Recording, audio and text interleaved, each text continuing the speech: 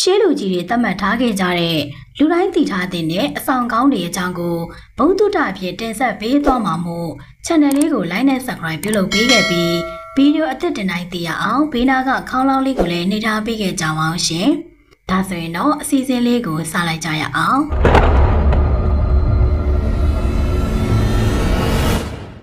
ရှေးအောင်ဘုရားကျောင်းဆောင်နေနာကချင်းသေးရုပ်ထုတွေရဲ့ပါဇာနာမှာ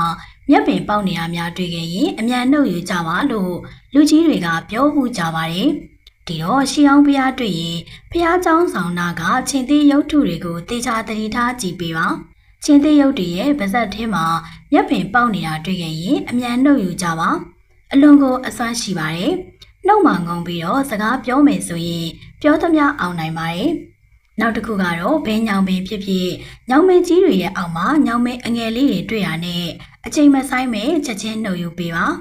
နှုတ်ယူထားတဲ့ညောင်မင်းငယ်ကိုဖျားညောင်ရီကိုရည်နဲ့သွေးလိမ့်ပြီးကြည့်တဲ့အခါမှာအမြင်တက်ရစီပါတယ်နောက်တစ်ခုကတော့ပေါက်ပေတပီရဲ့အရှိဘက်တက်တက်မှာကြီးပေါင်းများတွေ့ပါကအမြန်ဖြတ်ယူပါဒီလိုဖြတ်ယူပြီးရင်တော့မိမိမွေးနေတိုင်းသွေးပြီးတောက်ပါကပြရသိတိအောင်ပါတယ်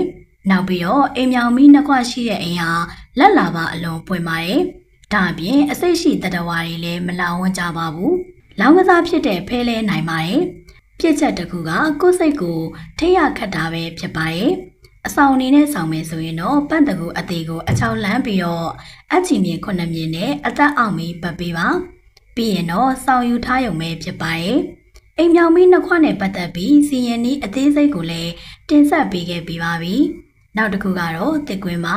တစ်ကွင်းဆိုတိုင်းကောင်းကျိုးပေးတယ်လို့မထင်လိုက်ပါနဲ့ စူးပါတဲ့အပင်နဲ့ခါတဲ့အပင်ဒုက္ခနေရရှိတဲ့တစ်ကွင်းတွေကိုအိမ်မှာချိတ်ထားမယ်ဆိုရင်တော့မွဲပြကြရုံမက လူပါဒုက္ခတွေ့နိုင်ပါတယ်ဒါကြောင့်တေချာစီစစ်ဖို့လိုအပ်ပါတယ်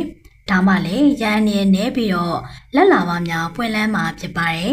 နောက်တစ်ခုကတော့ကြောက်လိပ်ဖြစ်ပါတယ်ကြောက်လိပ်ဆိုတာကတော့လိပ်ပုံစံအတိုင်းတစ်ထပ်သေးတူမနေပါဘူးအနှဲငယ်တူယုံများနဲ့တင်စွမ်းပါတယ်။ကြောက်လိုက်ကိုကြောက်ရည်ကန်လေးထဲမှာထားပေးရပါတယ်။ အနားမှာပေါက်ပေါက်ဆုပ်ကြည့်ရပါတယ်။အိမ်ဝင်တကားပေါက်ကိုခေါင်းလှည့်ပြီးထားပေးရပါတယ်။ဒါဆိုရင်လက်လာပါအလုံးပွင့်ပါတယ်။ကြောက်လိရှိပါရဲ့နဲ့မွဲနေတယ်ဆိုရင်တော့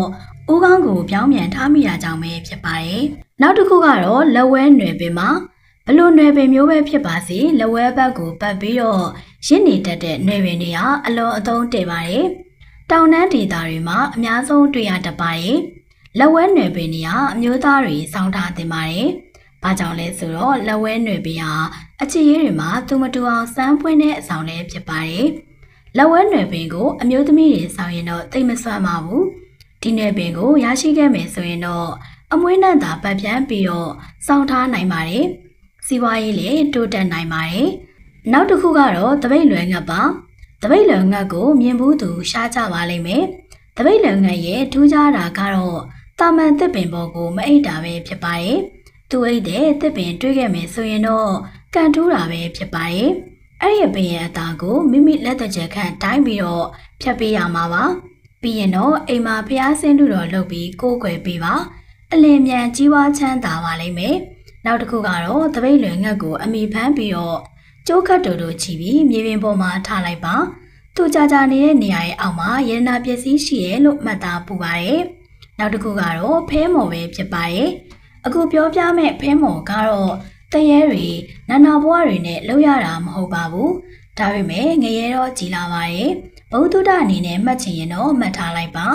မွေးတကောင်ကဖားတကောင်ကိုမျိုးနေတဲ့အချိန်ပြီးကနေမှမွေးရဲ့ခေါင်းကိုဓာတ်နဲ့ဖျက်ရမှာပါမွေလဲတည်ဖားလဲတည်ပဲဖြစ်ပါတယ်။အဲ့ဒီအနေထားအတိုင်းမပုတ်ပဲညံ့ညံ့ချုပ်သွားအောင်ပြုလုပ်ပြီးစောင့်ထားရုံပဲဖြစ်ပါတယ်။ ဒါပေမဲ့မသာဖဲဝိုင်းကိုမရရပါဘူး။တခြားဖဲဝိုင်းတွေမှာကြိုက်တယ်လို့ရိုက်ပါနိုင်ပါလိမ့်မယ်။ဖဲမော်အစွမ်းကြောင့်နိုင်ခဲ့ရင်တော့နိုင်သမျှရဲ့သုံးပုံတစ်ပုံကိုအမြဲတမ်းလမ်းလေးကွာဆုံးနေရာမှာဆုံးပြရမှာပဲဖြစ်ပါတယ်။ဟုတ်ကဲ့ channel လေးကိုကြည့်ရှုအားပေးတဲ့အတွက်ကျေးဇူးထူးတင်ရှိပါတယ်ရှင်။